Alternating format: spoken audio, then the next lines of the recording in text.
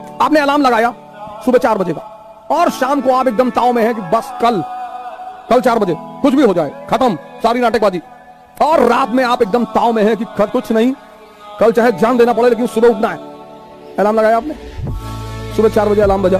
अब आपके इस मन ने ये नहीं कहा कि नहीं उठना है। ना, ये तो ये कहेगा ही नहीं। ये इसकी खूबसूरती है, सर। ये नहीं कहता ही नहीं। ये आपसे पता क्या कहेगा? कि पाँच मिनट यार, पाँच।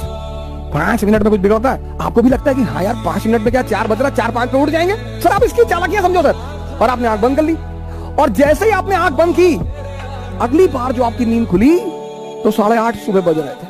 मज़ा तब आएगा सर, तभी आपको जलील करेगा। कि देखो, तुम उठ ही नहीं पा रहे हो तुमसे कुछ। और पूरा दिन आपका भारी रहेगा आपको पता नहीं चलेगा, क्योंकि ये जलील कर रहे हैं ना अंदर से।